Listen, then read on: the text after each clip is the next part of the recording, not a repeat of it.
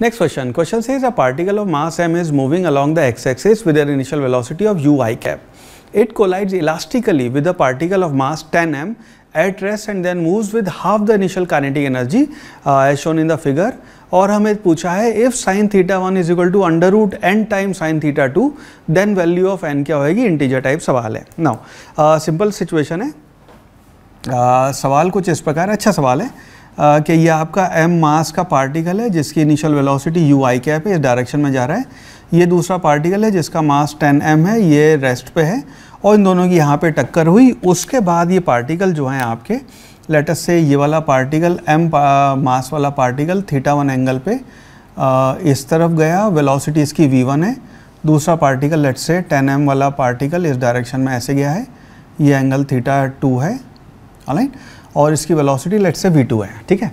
हमें जो सिचुएशन दे रखी है वो है आ, पूछा है हमसे sine theta one if sine theta one is equal to under root n times sine theta two हमें एन की वैल्यू इंटीजर टाइप है वो बताना है क्या होएगा। नाउ Uh, सबसे पहले तो ये है अगर हम इस पार्टिकल uh, की बात करें तो हमें सबसे पहले कंडीशन दे रखी है कि आपकी जो इनिशियल काइनेटिक एनर्जी है ऑफ़ पार्टिकल एम उसकी हाफ़ वो आपकी काइनेटिक एनर्जी हाफ़ हो गई।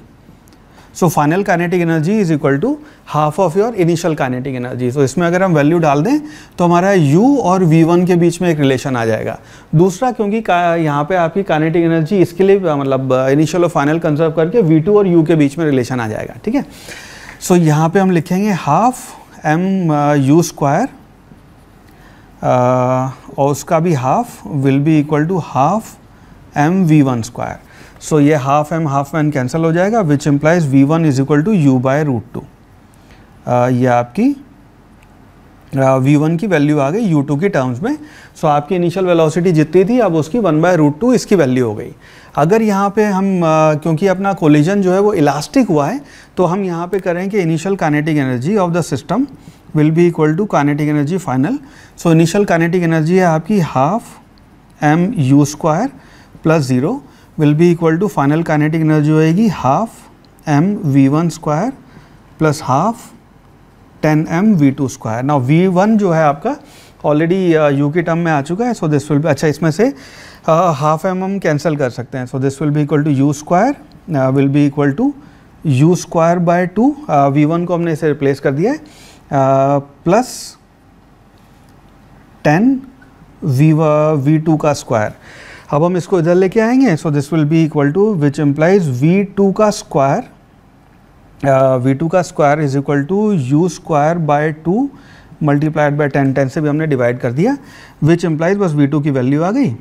यू uh, के टर्म में u divided by under root twenty ये आपकी वी टू की वैल्यू हो गई। अब यहाँ पे नेक्स्ट uh, काम जो अपने को करना है वो है कि अगर हम इस वाई डायरेक्शन में मोमेंटम कंजर्व करेंगे। तो वाई डायरेक्शन में मोमेंटम कंजर्व करने का मतलब ये है कि momentum initial will be equal to momentum final और ये हम दोनों कर रहे हैं वाई डायरेक्शन में। सो इनिशियल मोमेंटम आपका ज़ीरो है। uh, दोनों का ही वाई डायरेक्शन में विल बी इक्वल टू इसका जो मोमेंटम आएगा this will be equal to mass m multiplied by v one sine theta one minus इसका इस डायरेक्शन में ten m v two sine theta two ये आपका इस पार्टिकल का मोमेंटम होएगा एम यहाँ पे हम कैंसिल कर सकते हैं वी वन को यू की टर्म में डाल सकते हैं विच एम्प्लाइज इसको इधर ले आते हैं। uh, नहीं ये थीटा वन है। uh, इसको इधर ले आते हैं which implies v one sine theta one will be equal to ten v two sine theta two v one की वैल्यू रख देते हैं u by root two so this will be equal to u by root two sine theta one will be equal to ten और ये आ जाएगा u by root twenty sine theta two. So u will get cancel two will get cancel ये आपका यहाँ पे बचेगा under root ten तो यानी कि sine theta one will be equal to under root ten sine theta two which implies n की value अपनी टेन हो गई। सो so, इस सवाल का answer n will be equal to ten would be the correct answer